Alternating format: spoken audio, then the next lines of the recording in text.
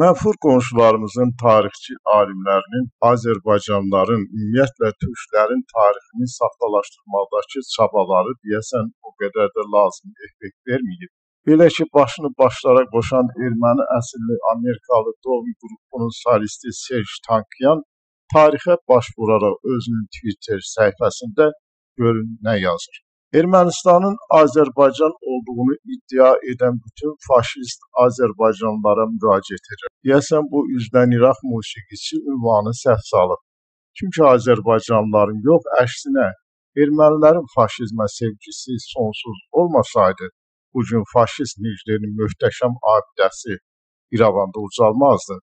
Sərsəmləməsini davam etdirən musiqiçi, necə deyərlər, tarixçi daha irəli gedərək deyir ki, Sizin paytaxtınız Bakı da tarixi Ermənistandır. Gör Ermənistan nə günə qalıb ki, musiqiçisi də tarixçilik edir. Serj Tankyan sərsəmləməsini belə davam etdirir.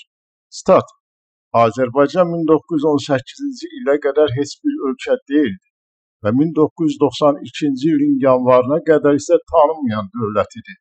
Arsaq isə 1991-ci ildə SSR-dən ayrılaraq müstəqilliyini elan etdi. Beləliklə, hüquqi nöqteyi nəzərdən Arsaq heç vaxt Azərbaycanın bir hissəsi olmayıb.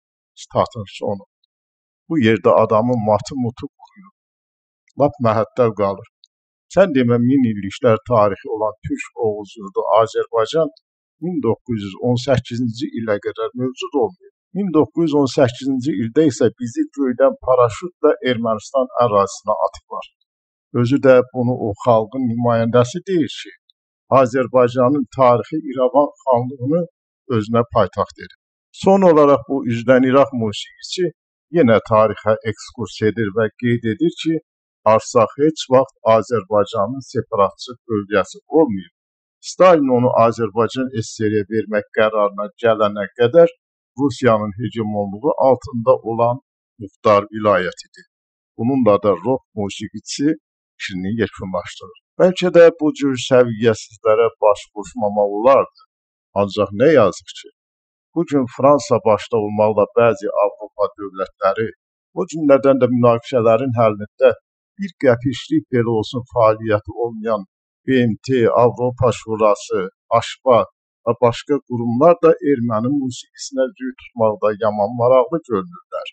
Necə deyərlər, taylı tayını tapmasan, günü ahvayla keçər. Bu musiqiçi tarixçiyə isə bir məqamı xatırlatmaq istərdi.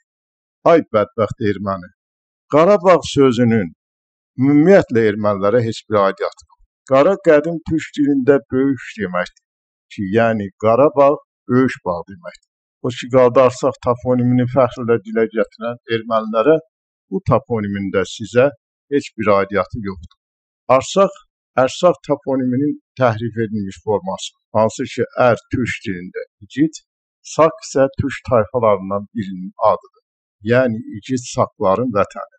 Ancaq nə yazıq ki, bu gün müvəqqəti də olsa ora çaqqal-çuqqal yığışıb.